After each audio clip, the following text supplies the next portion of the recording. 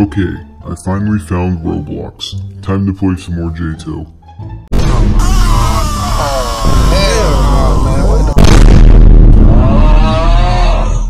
What's this? I've played too much JToH? Oh well, let's see what free games there are on Steam, I guess.